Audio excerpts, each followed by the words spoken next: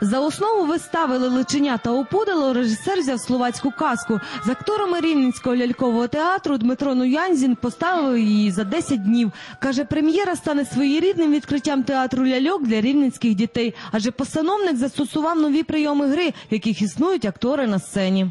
Пришлось по-новому существовать, по-новому разговаривать на сцене, по-другому водить кукол. Э, Ну и сама сказка очень такая непростая. Здесь не нужно никому помогать, здесь никто никого не догоняет, здесь никто никого не заколдовывает. Но сама по себе сказка очень трогательная и сентиментальная. И она рассчитана на детей, когда они приходят с родителями.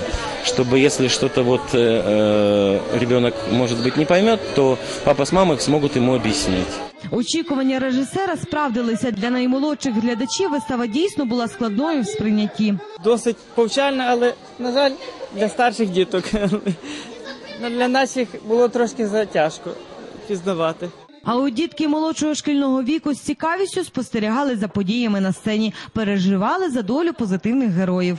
за маленьку лелеку, щоб вона не вмерла. І ще мені понравилось пугало. Для таких то якраз прививає дуже багато пізнавального і пори року, і потім почуття емоцій. Потім я думаю, обов'язково будуть обговорюватися в сім'ї. Нам сподобалося. Жанр вистави «Лелеченя та опудало» – це осіння соната про самотність. За сюжетом стає зрозуміло, ти одинокий не тоді, коли сам, а коли нікому не потрібен, не в змозі допомогти і обігріти. Насолоджуватися цією постановкою якої рівненські глядачі зможуть ще довго, адже рівненський театр ляльок отримав від автора право на її показ упродовж 10 сезонів.